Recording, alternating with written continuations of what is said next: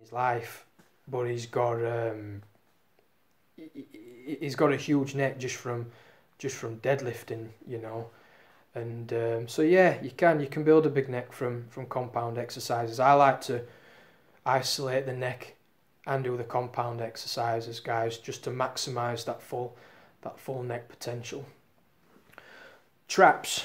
Are the traps important? Yes. If you're a natural guy and you want to maximize on your neck potential, I indeed think it is important to be training your traps. And the best way to do this is to do heavy, heavy rack pulls, heavy deadlifts, and heavy shrug work. I like to use a calf machine, a calf machine shrug, guys. I think that works best. Heavy upright rows, if your shoulders can take it.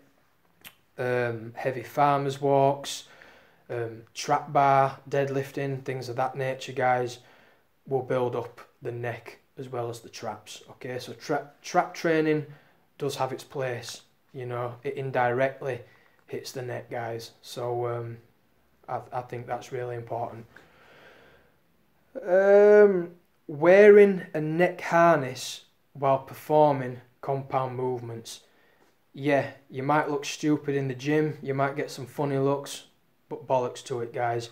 If you want to wear a neck harness while you do your heavy lifting, just don't be too heavy. Don't place too much weight on your neck, guys, because while you're lifting, you don't want to pop anything in your neck. But yeah, using a neck harness while you're doing deadlifts, while you're doing shrugs, and having to keep your head up whilst you're doing it, depending on where you place the harness, um, is a fantastic way to train your neck. So yeah, you can do that as well, guys. Um, what is the best neck harness, in my opinion, is the Hercules neck harness that you can buy from IronMind. Enough said. And there's also the Spud Inc. The Spud Inc. harness is really good, but the um, the Hercules neck harness, in my opinion, is is number one. It's got that good longevity. It can handle ridiculous amounts of weight. You can add a loading pin to it, guys. It's just a great piece of equipment. Okay, so random questions that are being that are being asked. Do I have sleep apnea? No, not that I'm aware of. I do not have sleep apnea, and I do not know much about it. But uh, sleep apnea is something that tends to happen in people who are overweight, who are obese, that carry a lot of fat around the neck. I've not heard too many stories about people suffering with sleep apnea just because they had a large muscular neck. I'm not saying that it doesn't happen, it probably does, but no, I do not suffer with sleep apnea.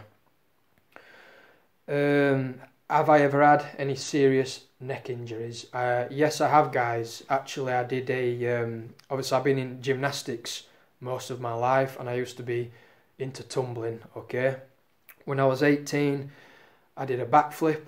I didn't tuck correctly in the air. I landed on the back of my neck, put myself unconscious for, for a little bit of time. And when I woke up, guys, I couldn't feel my right arm. I couldn't feel anything down the right side of my body. I was partially paralysed.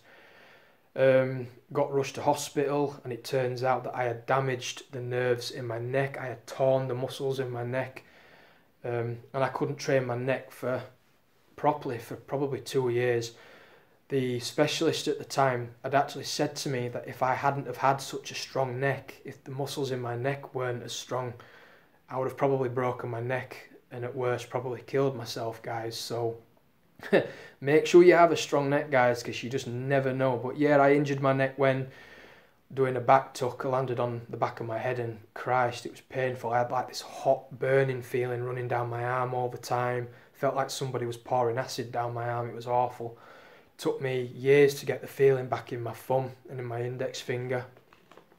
But yeah, just you, you, you've got to be careful, guys. And another injury was actually whilst I was doing neck bridges. My head got really, uh, really sweaty, and I had a plate on my chest. And as I rolled back to do my neck bridge, my head kind of slid along the mat, and all of a sudden, boom, something pinged in my neck, and my neck was over here for like four months. I had to go and have rehab on my neck, which is really painful. But um, yeah, guys, pretty pretty rubbish situation to be in. Um, you don't want to have it happen to you, so protect your necks. Um, is I don't know if there's anything else really to um, to talk about, guys. Tips. I'm going to give you a tip. Okay, one of the best tips that you can um, that you can use for training your neck. Press your tongue against the roof of your mouth when you're training your neck and when you're doing your powerlifting movements. When you press your tongue against the roof of your mouth, you contract the muscles in your neck. You contract that sternal muscle, guys, which is what you want to keep flexed throughout your movements. Keep contracted. So learn to press your tongue against the roof of your mouth when you're training your neck. And also, guys, learn how to flex your neck when you're doing your deadlifting and when you're doing your shrug work. You'll be surprised at how effective um, flexing your neck is. So find that position your head you want to be in.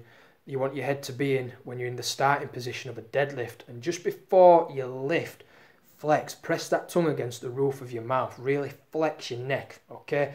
And when you're lifting up, guys, you'll really feel feel all that tension in in your neck area there. So just a really awesome tip for you there, guys.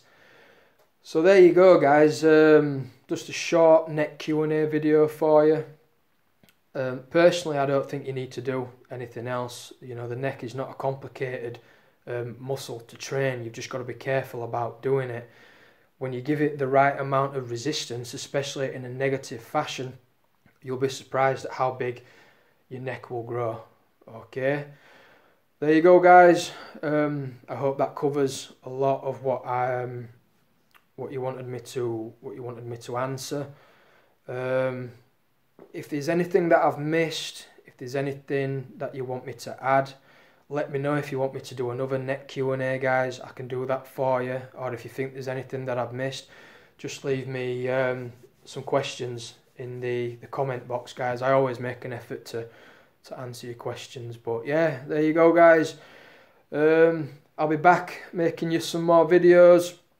Um, and yeah, there you go, guys. Let's keep the channel going. I hope that helps with your neck training. Okay, guys, take care, and as always, have a nice day. Peace out.